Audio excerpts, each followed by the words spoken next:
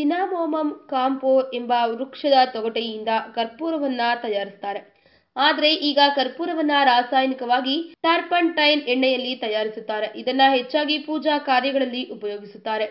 ಮನೆಯಲ್ಲಿ ಮಾಡಿದ ಕರ್ಪೂರ ತೈಲವನ್ನ ಗರ್ಭಧಾರಣೆಯ ಸಮಯದಲ್ಲಿ ಉಂಟಾಗುವ ಸೆಳೆತದ ಚಿಕಿತ್ಸೆಯಲ್ಲಿ ಬಳಸಲಾಗುತ್ತೆ. ಸಾಸಿವೆ ಎಣ್ಣೆ ಅಥವಾ ಕೊಬ್ಬರಿ ಎಣ್ಣೆ ತೆಗೆದುಕೊಂಡು ಕರ್ಪೂರವನ್ನ ಸೇರಿಸಿ ಬಿಸಿ ಮಾಡಿ ತಣ್ಣಗಾದ ಮೇಲೆ ಕಾಲುಗಳ ಮೇಲೆ ಮಸಾಜ್ ಮಾಡೋದ್ರಿಂದ ತ್ವರಿತ ಮತ್ತು ಸುಲಭ ವಿಶ್ರಾಂತಿ ನೀಡುತ್ತೆ. ಇನ್ನು ನೀರಿನಲ್ಲಿ ಕರ್ಪೂರವನ್ನ ಸೇರಿಸಿ ಇರುವೆಗಳಿರುವ ಜಾಗಕ್ಕೆ ಹಾಕಿದ್ರೆ ತಕ್ಷಣ ಇರುವೆಗಳು ಮಾಯವಾಗುತ್ತೆ. ಮಸ್ಲಿನ್ ಚೀಲದಲ್ಲಿ ಕರ್ಪೂರವನ್ನ ಸೇರಿಸಿ ಹಾಸಿಗೆ ಕೆಳಗೆ ಇರಿಸಿದ್ರೆ ಹಾಸಿಗೆಯಲ್ಲಿರುವ ಹುಳುಗಳು ಮಾಯವಾಗುತ್ತೆ. ಇನ್ನು ಚರ್ಮದ ಮೊಡವೆಗಳನ್ನ ಗುಣಪಡಿಸಲು ಉತ್ತಮ ಗುಣಮಟ್ಟದ ಕರ್ಪೂರವನ್ನ ತೈಲದ ಜೊತೆಗೆ ಬೆರೆಸಿ ನಿಮ್ಮ ಚರ್ಮವನ್ನ ಮಸಾಜ್ ಮಾಡಿಕೊಳ್ಳಬಹುದು. ಇನ್ನು ತೈಲ ಅಂದ್ರೆ ಆಲಿವ್ ಎಣ್ಣೆ, ತೆಂಗಿನ ಎಣ್ಣೆ ಅಥವಾ ಬಾದಾಮಿ ಎಣ್ಣೆ ಬಳಸಬಹುದು.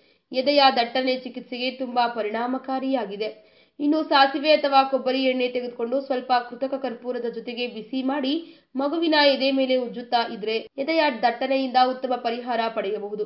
ಕೊಬ್ಬರಿ ಎಣ್ಣೆ ತೆಗೆದುಕೊಂಡು ಕರ್ಪೂರವನ್ನ ಸೇರಿಸಿ ಬಿಸಿ ಮಾಡಿ ತಣ್ಣಗಾದ ಮೇಲೆ ತಲೆಗೆ ಹಚ್ಚಿಕೊಂಡ್ರೆ ತಲೆ ಕೂದಲು ಉದುರುವ ಸಮಸ್ಯೆಗೆ ಪರಿಹಾರ ಕಂಡುಕೊಳ್ಳಬಹುದು. ಕರ್ಪೂರವನ್ನ ಮನೆಯ ವಿವಿಧ ಮನೆಮದ್ದುಗಳಲ್ಲಿ ಬಳಸಲಾಗುತ್ತೆ.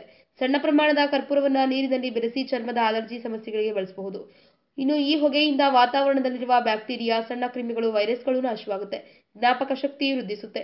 ಚರ್ಮದ ಕಾಯಿಲೆಗಳು ಗುಣವಾಗುತ್ತೆ. ಇನ್ನು ಕರ್ಪೂರದಿಂದ ಬರುವ ಹೊಗೆಯಿಂದ ಅಸ್ತಮಾ, ಟೈಫಾಯಿಡ್, ಮನಸ್ಸಿನ ದುಗುಡ, ಬೆಚ್ಚಿ ಬೀಳುವಿಕೆ, ಹಿಸ್ಟೀರಿಯಾ, ಕೀಲು ನೋವುಗಳು ಮೊದಲಾದ ಕಾಯಿಲೆಗಳಿಂದ ಮುಕ್ತಿ ಹೊಂದಬಹುದು.